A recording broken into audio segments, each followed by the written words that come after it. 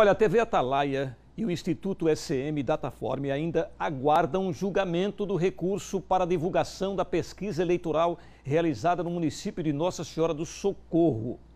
A pesquisa retrata com fidelidade o momento eleitoral no município e seguiu com rigor todas as normas técnicas vigentes do Tribunal Superior Eleitoral.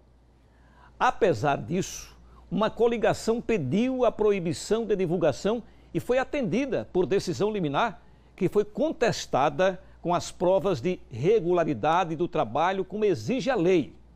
A divulgação só depende agora da análise do juízo eleitoral da cidade. Esperamos celeridade.